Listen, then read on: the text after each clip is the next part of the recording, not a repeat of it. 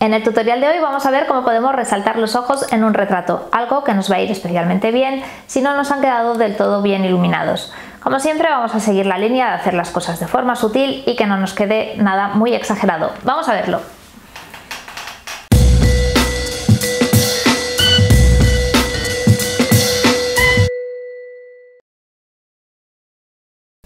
He empezado abriendo esta foto, que como veis es un retrato así un poco improvisado, no tiene luz de flash, ni siquiera luz natural bonita, eran unas escaleras en una, en una oficina. Y aunque el retrato veis que tiene mucha calidad, que era un, objetivo que estábamos probando, los ojos han quedado un poco apagados, no, no tienen un brillo que tendrían si hubiera una luz de, de flash iluminando o una luz de una ventana o algo así. Entonces he elegido esta foto porque nos va a venir bien para explicar cómo podemos resaltar y mejorar los ojos.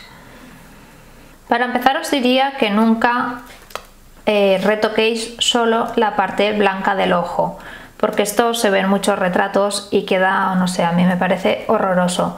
Es cuando vemos un retrato con un, blanco del ojo ahí súper definido y es que, bueno, han, quitado todas las venas, han resaltado el blanco y esto pues no, no queda natural porque, a ver, es lo que tiene ser humano, que tenemos venas, tenemos sangre y tenemos, como siempre decimos, imperfecciones. Entonces, si queremos aclarar los ojos, que sea de forma uniforme, que lo hagamos en todo a la vez, en lo que es la pupila, lo que es el iris y todo, no, no solo la parte blanca del ojo.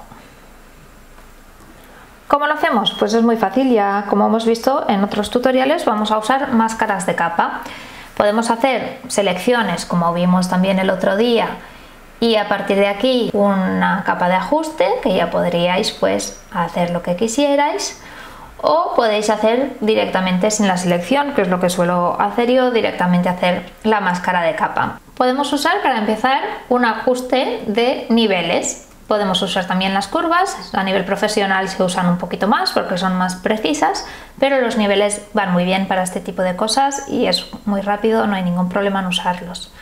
Aclaramos un poquito, ponemos incluso un poquito de negro para darle contraste, vemos que nos lo ha aplicado a toda la imagen pero ahora cubrimos con negro y con el pincel blanco vamos pintando la parte que queremos resaltar. Si no nos ha quedado un efecto eh, suficientemente exagerado como queríamos, pues le añadimos, vamos a niveles y añadimos un poquito más. Y así ya podemos ver un primer retoque en el que los ojos están más claros. Como vemos, esta parte de aquí está más oscura por la iluminación y el ojo queda bastante más apagado que el otro.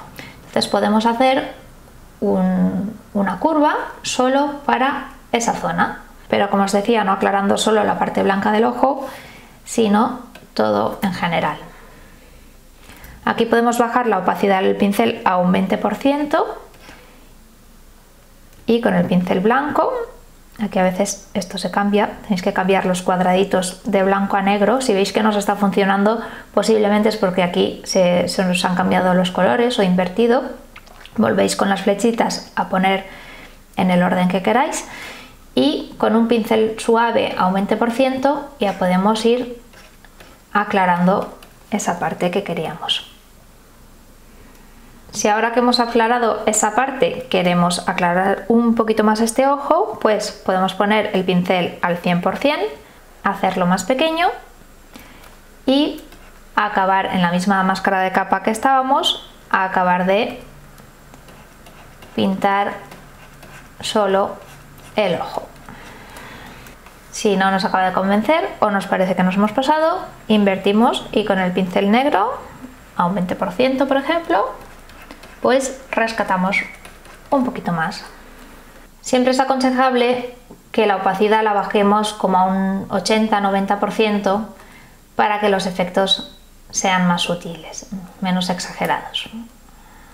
Aquí, por ejemplo, a mí me parece que este ojo ha quedado demasiado aclarado, demasiado exagerado. Entonces, simplemente volvería a los niveles y con un pincel negro, con una opacidad del 20% que lo tenemos, pues rescato un poquito. ¿Qué otra cosa podemos hacer para resaltar estos ojos o hacer que se vean más bonitos? Pues podemos ir a saturación, aquí en el simbolito de la capa de ajuste, tono saturación y nos crea otra máscara de capa. Vamos a darle saturación hasta el punto que queramos, cubrimos de negro y con el pincel blanco repetimos la misma operación. Ahora lo tenemos al 20%, aquí arriba lo tenéis marcado, solo con que en el teclado marquéis el el 10 ya os marcará el 100%, si ponéis un 2 os marcará el 20, si ponéis un 4 el 40 y así todo el tiempo. Ahora lo vamos a dejar al 100% y vamos a darle un poquito de vidilla a estos ojos que nos habían quedado muy apagados.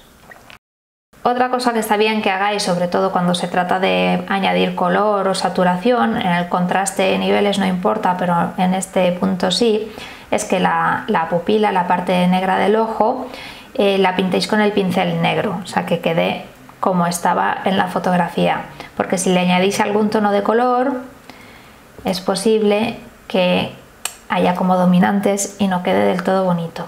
Entonces, pintamos lo que es el ojo con el blanco,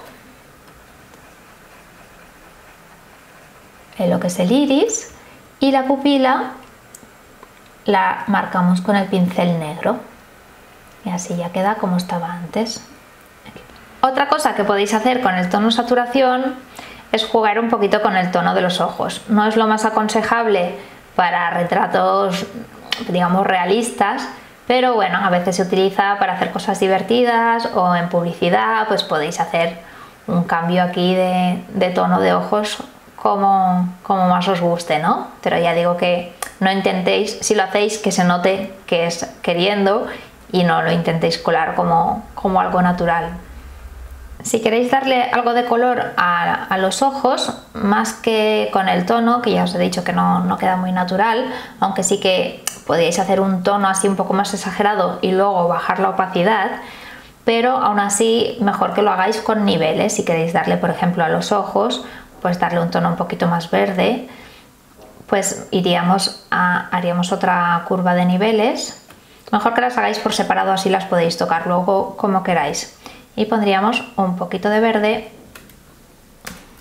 y lo mismo, cubrimos y con el pincel blanco vamos pintando los ojos como queramos. Otra cosa que podemos hacer para resaltar los ojos, antes he estado jugando un poco, probando hacer algunas cosas nuevas, es añadir como reflejos de flash o como si tuviéramos una ventana cerca, ya que en este caso había tan poquitos reflejos, pues vamos a intentar darle un poco de vidilla. Vamos a desactivar todos los ajustes que hemos puesto antes para que no tengamos problemas a la hora de añadir otros elementos, que no movamos la capa que no es por error o cosas así que suelen pasar. He cogido la, herramienta de selección, el círculo, Vamos a hacer un círculo, ya lo vimos el otro día, con la, ah, pulsando la tecla Alt. Estoy hablando siempre en teclado de Mac. Podemos quitar un trozo de selección y hacer una media luna. Vamos a selección, modificar, desvanecer y la desvanecemos bastante, como un 15 más o menos. Le damos a OK y creamos una capa nueva, que es este símbolo que tenéis aquí. Creamos una capa nueva y la cubrimos de blanco. Deseleccionamos y con esta herramienta que es la de arrastrar, ponemos la luna cerca del ojo con comando T edición transformar, presionando la mayúscula, la hacemos pequeñita, le damos a intro y la movemos ampliar un poco, la movemos a la zona que queramos del ojo. Con comando T otra vez, sin presionar la mayúscula, la podemos deformar como queramos y le damos a intro. La he puesto, he puesto la marca en el sitio donde había un poquito de reflejo. El ojo era muy, muy sutil, pero se ve que la poca luz que, que entraba venía de este lado. Ahora cambiamos el tipo de capa de normal a luz suave y la opacidad que está al 100% la bajamos pues como a un 20-30%. 30 está bien. Ahora solo tenemos que duplicar esta capa, que la podéis duplicar arrastrando esa capa al simbolito de nueva capa. Y con la herramienta de mover, movemos al otro ojo la media luna. La podemos con comando T, como ahora está en una capa nueva, la podemos girar como queramos.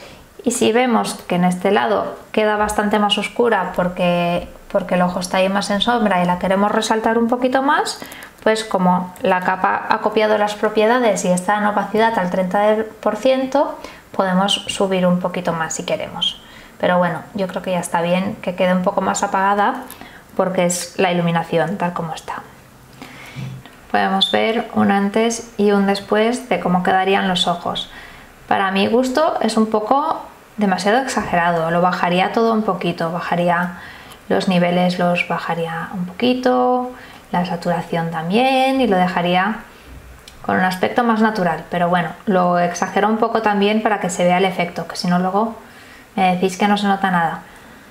Y otro truco que siempre funciona para resaltar más los ojos, pues es oscurecer el resto de la imagen. En este caso creo que va a ser bastante fácil porque el fondo tampoco es interesante. Podemos hacer, podemos hacer como un viñeteado. Entonces seleccionamos la imagen también con la herramienta que vimos el otro día del círculo. aquí no hace falta que la desenfoquemos porque lo podemos hacer después desde la capa. Vamos a curvas, oscurecemos, está invertida, entonces tenemos que darle comando I y nos la pone al revés. Y aquí si vamos, hacemos clic sobre la máscara, vemos la densidad y desvanecer, desvanecemos, y ya adaptamos la curva como queramos. Oscurecer un poquito todo lo demás y así el retrato, la parte de la cara, de los ojos, pues se ve que tiene más protagonismo. Y para acabar lo que podemos hacer si lo que queremos es darle todo el protagonismo a los ojos, pues sería hacer una selección con el lazo, por ejemplo, a mano alzada y seleccionar todo el ojo, incluyendo las, las pestañas, ir a selección, modificar, desvanecer, ponemos por ejemplo un 3 o un 4 y filtro, enfocar, máscara de enfoque y ya la ajustáis pues como más os guste. Bueno, y así podéis ver cómo podemos retocar unos ojos de una manera fácil y sobre todo en este caso está un poco exagerado, os aconsejaría que no, no los resaltéis tanto pero bueno, es un poquito para que veáis cómo quedan los efectos y las cosas que podéis hacer. Después ya con la opacidad los podéis bajar y dejar más de una forma más natural. Y hasta aquí llegamos con el tutorial de hoy. Los comentarios los podéis dejar en el canal de YouTube o en fotolari.com. Hasta pronto.